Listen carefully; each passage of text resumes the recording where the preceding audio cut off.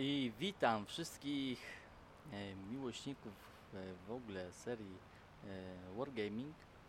Tutaj Wam chciałem zaprezentować gierkę World of Warplanes i można powiedzieć ten ciekawy dosyć samolot premium, który otrzymaliśmy wraz z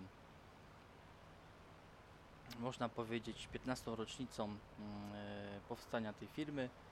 O tym piękne turbo, piękna prezentacja tego samolociku. Dosyć ładnie, pięknie to wygląda. Mm, e, Jest to I-15DM-2. Jak widzicie, e, rosyjska maszyna. Mm, Naprawdę dosyć pięknie, fajnie ta gierka wygląda. E, W moim wypadku akurat tutaj e, wszelkie e, ustawienia graficzne można powiedzieć na full detalach.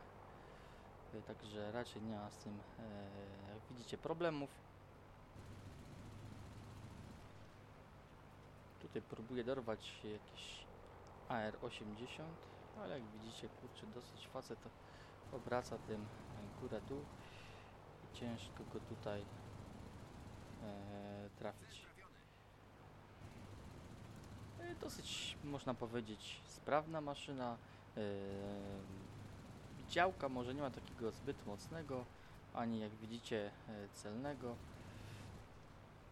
Próbuję tutaj wymierzyć, zlikwidować wroga, jakoś mi no niezbyt wychodzi. Za duży kąt nurkowania. Hmm, Za duży kąt nurkowania, próbujemy dobić tamtego kolegę, ale jakoś mi nie wychodzi.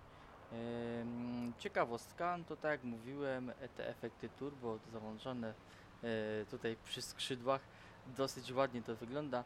E, Sam samolot e, naprawdę nie wymaga jakichś tam kosmetycznych e, upgrade'ów, dosyć fajnie się prezentuje w tej barwie, którą od razu standardowo jesteśmy w stanie otrzymać tutaj Wystarczy jedynie co to zalogować się, żeby go otrzymać, nic więcej. Nie trzeba tam żadnych kodów wklepywać ani nic. Bonusy jakie są przez ten event, o dziwo na czołgach mi się zdaje troszkę gorsze niż tutaj, jakie są, em, Ostatni samolot wroga. Jakie są pokazane mm, na World of Warplanes. Mam akurat do dyspozycji Expera Z3, co właśnie najbardziej mi się zdaje największą bolączką akurat, e, ponieważ tam tylko do dyspozycji mamy e, doświadczenie na czołgach. Jak widzicie, e, pruje, pruje ten samolocikiem, dosyć pięknie, ładnie wygląda. No i próbujemy dogonić tutaj ostatni cel. Niezbyt mi to zbyt dobrze poszło. E, Tu miałem zadanie akurat szybko nakręcić ten samolocik, zachęcić Was może do gry. E, Dużo maniaków jest, jeżeli chodzi o grę War Thunder. Ja natomiast jestem sceptykiem co do tej gry, ponieważ e, tutaj mam o wiele więcej bonusów mm, i o wiele więcej po prostu mm, możliwości, ponieważ tak jak mówiłem, mamy po prostu do dyspozycji konto premium, gdzie będzie dostępne na chwilę obecną w obydwu grach. Więc moim zdaniem nic dodać, nic ująć. Płacimy jedno, mamy dostęp do dwóch kont premium, także nic więcej.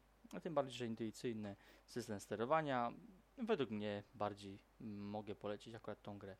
E, Nick widzicie ten sam co w wocie, także jak coś to zapraszam do gry. Mam nadzieję, że Wam się to spodoba. E, No i zachęcam do gry World of Warplanes. Tym bardziej skorzystania z tych eventów podczas gry. Trzymajcie się. Hej!